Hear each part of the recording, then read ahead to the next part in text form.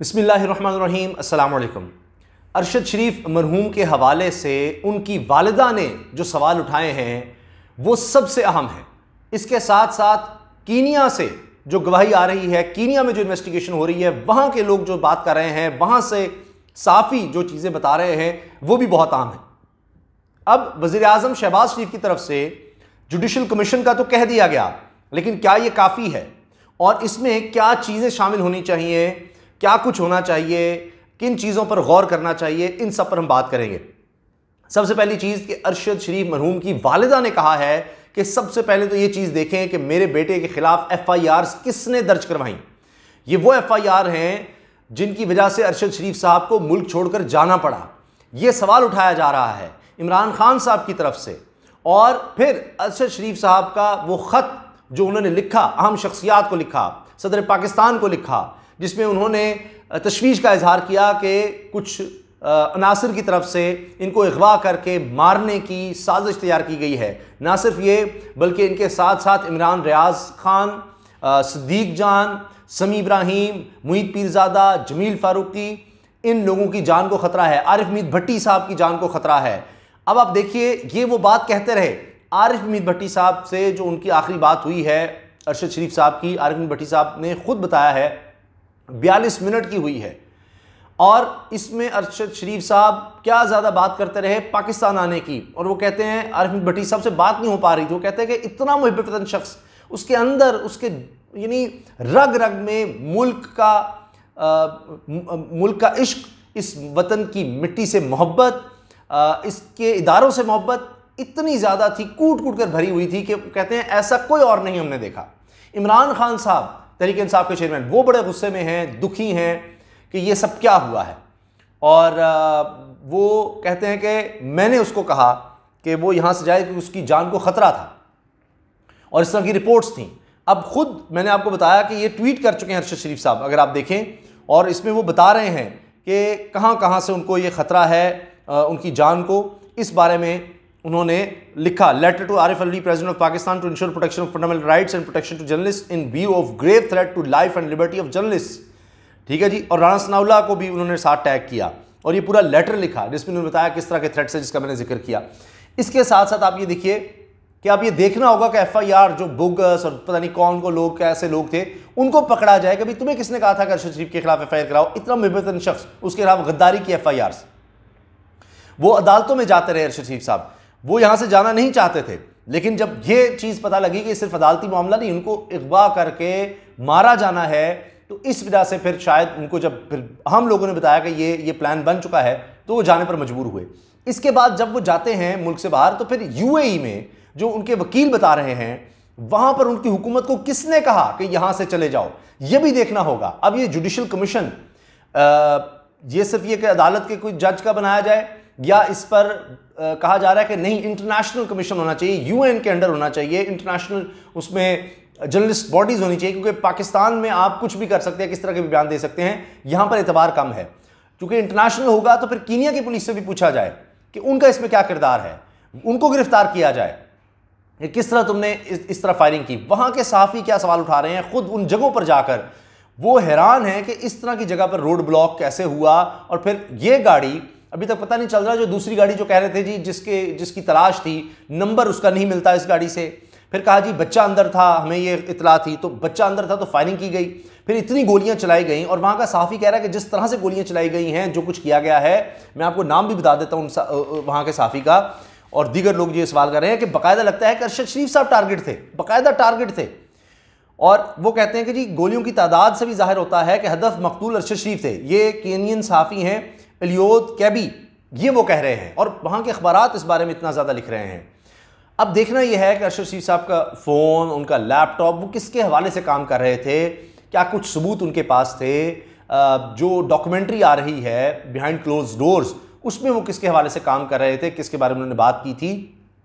ये सब कुछ देखना होगा, क्योंकि अब ये भी हो रहा है कि कुछ लोगों की तरफ़ से इसको तहरीक इंसाफ की तरफ़ मोड़ने की कोशिश हो रही है कि जी इमरान खान ने क्यों कह दिया, ये कैसे कह दिया? जी, उनको ख़तरा था। किसने उनको कहा कि जी अरशद शरीफ की जान को ख़तरा है और उनको यहाँ से भेजा?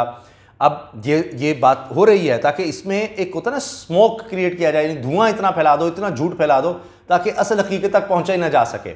इतनी बातें शुरू हो जाएँ। तो ये अब लोग, मुझे नहीं लगता कि इस चीज़ को, इस चीज़ के धोखे में आएँगे। लोग बड़े समझदार हैं। कि अब फोकस आप ये रखें कि उनको किन हालात में कत्ल किया गया, किसने उनको मजबूर किया बाहर जाने पे एफ़ आई आर किसने करवाई, ये सब चीज़ें उसमें आनी चाहिए और इंटरनेशनली इस चीज़ को देखा जाना चाहिए। फिर अब आप देखें कि वहाँ से वो गाड़ी जो चला रहा था वो कहाँ है? उससे क्या चीज़ें पूछी गई हैं? क्या वाकई रोका गया? वो जिसके पास ठहरे हुए थे शरीफ साहब, जिनका दोस्त बताया जाता है, पहले पुलिस ने क्यों कह दिया जी, उनका भाई था, ये गलत बयानी किनियन पुलिस ने क्यों की? वो लोग कहाँ हैं? ड्राइवर कहाँ है? ये सब चीज़ें, और उसने बयान में क्या कहा है, वो बातें किधर हैं?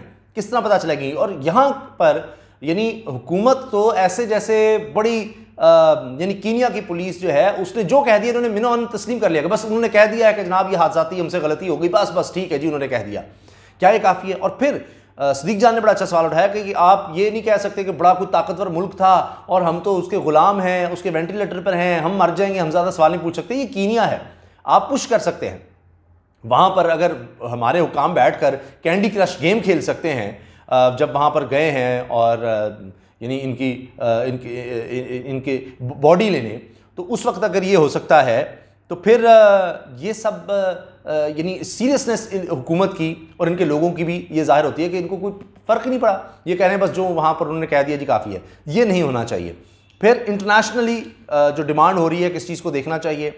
और अरशद शरीफ साहब का ये लेटर प्रेसिडेंट को जो लिखा है, दीगर आम शख्सियात को लिखा है, इसको देखा जाना चाहिए। इसकी बुनियाद पर तफ्तीश होनी चाहिए कि वो लिख रहे हैं कि इन लोगों को ख़तरा है। और अब जब खुद वो एक मकतूल बता रहा है कि उसको किससे ख़तरा है, वो ख़तरा महसूस कर रहा था, उसने प्रेसिडेंट को ये ख़त लिखा, यहाँ से तफ्तीश का भी आगाज़ होना चाहिए, ये उनका एक तरह से आखिरी ख़त है जो बाकायदा उन्होंने लिखा। अच्छा फिर आप देखें कि क्या यहाँ से कोई टीम जाएगी कीनिया? वहाँ जाकर कलेक्ट करेगी एविडेंस वहाँ सवाल पूछ सकती है? ये टर्म्स ऑफ़ रेफरेंस में जो जुडिशल कमीशन बनेगा, उसमें ये सब चीज़ें शामिल होनी चाहिए। और फिर उनके पास जो भी चीज़ें थी यानी कीनिया में अगर कोई, कोई किसी स्टोरी के लिए थे या जिस वजह से भी थे कहीं वो अप्लाई कर रहे थे और जब अपने करीब तरीन लोगों को नहीं बता रहे थे अपनी लोकेशन का जिसके बारे में ख़ुद साबिर शाकिर ने भी बात कही है खुद अरशद शरीफ साहब ने अपनी वीडियोस में कहा कि मैं एक ही शर्ट में बार बार बना रहा हूँ मुझे बदलना पड़ रहा है ये बात करनी पड़ रही है। तो वो इस पर ख़ुद यानी परेशान थे कि किस तरह से उनको पीछा किया जा रहा है। और काशिफ बासी साहब ने इसने कहा कि वो पाकिस्तान आना चाहते थे, पाकिस्तान आना चाहते थे तो कौन रोक रहा था उनको पाकिस्तान आने से? कौन नहीं आने दे रहा था पाकिस्तान? ये सब चीज़ों को देखना होगा। और फिर ये कि अब आखिर में जो मैं बात करना चाह रहा हूँ कि आखिरकार मरीम नवाज़ साहिबा ने जो अल्लाह की मखलूक की ताकत को माना कि जनाब लोगों की राय जिस तरह आई उनकी ट्वीट पर उस पर अब उन्होंने माजत की और कहा जी मैं ट्वीट डिलीट कर रही हूँ मैं माजत खा हूँ मेरा ये मकसद नहीं था। तो देखें लोगों को पता लग गया कि उनके अंदर कितना बदला है या किस तरह की सोच है वो तो ज़ाहिर हो गई। लेकिन एक प्रेशर ज़रूर बिल्ड हुआ और उनको अब ये ट्वीट डिलीट करनी पड़ी। लेकिन उन्होंने जो इस ट्वीट के हक़ में ट्वीट्स करवा दी या इसको मतलब आ, आ, ये जो कत्ल है ये जो शहादत है आ, इसके हवाले से गलत फहमियाँ फैलाने की कोशिश की। या इस तरह की बातें यानी जो जिससे पता लगता है कि एक संग दिली को ज़ाहिर करती हैं, वो जो फैलाने की कोशिश हुई है, उसका क्या होगा? जब इस ट्वीट के बाद जो कुछ हुआ तो इन चीज़ों को भी देखना चाहिए कि हमारे शहीदों की कौन बेहरमती करता है, कौन इस तरह की बातें करता है। और आखिर में आईएसपीआर के हवाले से मैं बात कर दूँ कि उन्होंने कहा कि बिल्कुल ये देखना चाहिए कि क्यों डी ने कहा कि जी क्यों वो मुल्क से गए, किसने उनको मजबूर किया, फिर किसको इससे फ़ायदा हो सकता है, ये सब बातें भी देखनी होंगी। तो ये अब अगर जुडिशल कमीशन प्रॉपर बनता है, उसमें सब लोग जाते हैं, अपनी बात करते हैं तो देखते हैं कि उसमें क्या होता है। लेकिन बेहतर यही है कि जो डिमांड की जा रही है कि एक इंटरनेशनल लेवल का यूएन के अंडर कमीशन बनना चाहिए। आखिर कब तक पाकिस्तान में इस तरह से होता रहेगा? कि अगर कोई वैसे गैर मुल्की कोई हो जाए पाकिस्तान में तो आप देखिए क्या कुछ होता है। लेकिन अपना अगर हमारे इस वतन का बेटा बाहर जाकर शहीद किया जाता है तो क्या उसके हवाले से उस तरह से इन्वेस्टिगेशन नहीं होगी? उस तरह बात नहीं होगी? ये सवाल हैं जो उठाने चाहिए और इन बुनियादों पर तफ्तीश शुरू होनी चाहिए। अरशद शरीफ साहब ने जो ख़त लिख दिया है सदर को, वहाँ से जिन अनासर का वो कह रहे हैं, वो उनके करीबी दोस्तों को इस चीज़ का पता हो सकता है, जिन जिन लोगों उन्होंने कुछ ना कुछ बताया होगा, उनके रबते, उनका फ़ोन, उनके कोई लैपटॉप है, दीगर चीज़ें हैं, जिन स्टोरीज़ पे आखिर में काम कर रहे थे, जिन हवालों से बात कर रहे थे, जिन लोगों के ख़िलाफ़ वो प्रोग्राम कर रहे थे वो क्या था, वो किस तरफ़ इशारा कर रहे थे कौन कौन उनके दुश्मन हो सकते हैं कौन था आ, मतलब वो एयरवे में काम करते थे किस तरह प्रेशर आया क्या हुआ तो इन सब चीज़ों को देखेंगे तो शायद किसी नतीजे तक पहुँचा जा सके। इजाज़त दीजिए अल्लाह हाफ़